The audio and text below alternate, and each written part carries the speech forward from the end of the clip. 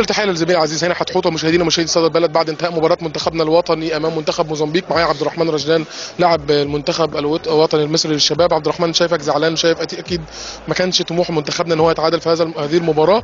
تشوف دي النتيجة دي إزاي؟ وبالنسبه لكم كلاعيبة اللي جاي إزاي؟ أول حاجة الحمد لله على النتيجة. طبعا كلنا زعلانين بس الحمد لله راضيين بال point. بس ما كانش ده هدفنا ولا ده طموحنا. ال point كان هدفنا 3 point. وإحنا حاطين في دماغنا الثلاث ماتشات بإذن الله إن كل ماتش ناخد 3 point بس الحمد لله الماتش ده عدى على خير. فده بيدينا تحفيز أكتر للماتش الجاي وإن شاء الله نطلع بثلاثة point الماتش الجاي. طبعا الجمهور كله على دماغنا إحنا بنشكركم جدا وأسفين لو زعلناكم النهارده بس والله كل واحد عامل اللي عليه. وبنوعدكم إن شاء الله الماتش الجاي يكون معانا 3 point وخليكم دايما في ظهرنا. اعتذر عن ال- النتيجة مش ده هدفنا مش ده طموحنا. إحنا هدفنا إن إحنا ناخد البطولة. هدفنا إن إحنا كل ماتش ننزل نكسب فيه.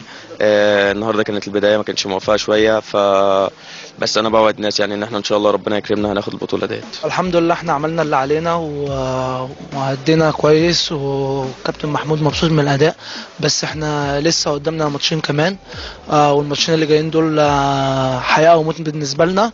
وإن شاء الله البطولة مش تخرج بره مصر والبطولة إن شاء الله في مصر ونقول للجماهير ما تقلقوش وخليكم برضو دعم, داعم لينا ومع ومع بعض الماتشات الجاية وإن شاء الله الماتشات الجاية هتشوفوا حاجة تانية. الماتش كان صعب جدا والمجموعة صعبة زي ما حضراتكم عارفين وإحنا كنا ما حالفناش الحظ إن إحنا نكسب النهارده ماتش مصر ولكن إحنا إن شاء الله هنركز في ماتش السنغال. هدفنا هو الوصول للمونديال طبعا وإحنا هنا عشان ننافس على البطولة مش أكتر من كده.